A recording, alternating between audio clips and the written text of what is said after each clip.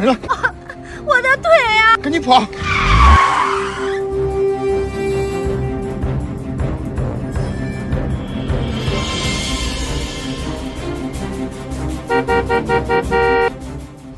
天呐，这么严重啊？你没事吧？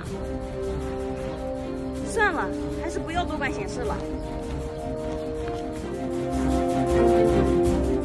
哎，大姐，有没有事啊？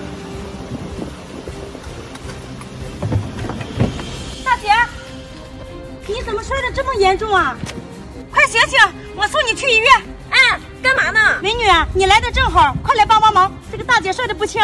帮什么帮？现在讹人的那么多，万一他讹上你怎么办？再说了，他又不是你撞的，赶紧走吧，别多管闲事了。你看他伤得这么重，如果不救的话，他会出事的。要帮你帮，小心他让你倾家荡产。帮你帮，小心他让你倾家荡产。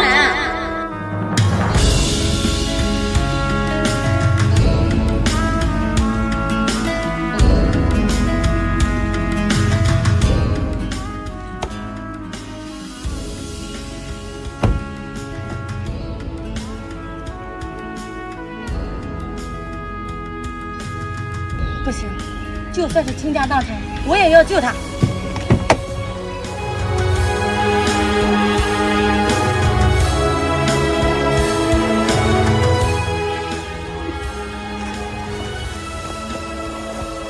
大姐，你坚持住，我送你去医院。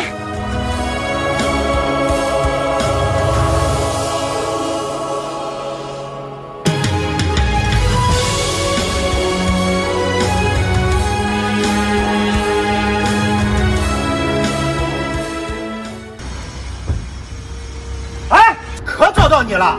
你把我老婆撞了，放在医院你就走了？哎，大哥，你老婆不是我撞的。不是你撞的，你扶他干什么？不是你撞的，你会把他送到医院？你有那么好心？我下班路过那里，看到你老婆躺在路边，我就把她送到医院了，然后又给她交了两万块钱的治疗费，我就走了。走？你往哪里走啊？你把我老婆撞成那样，今天要是没有三十万，这事儿啊没完！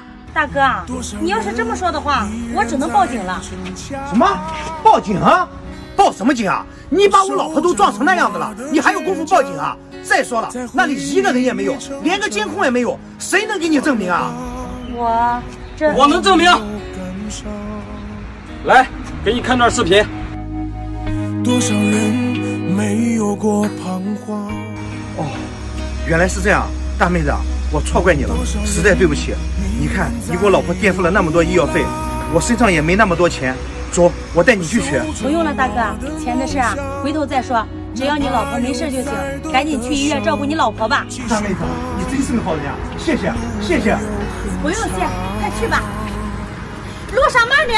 这一切其实本无味，细细的品尝，慢慢体会。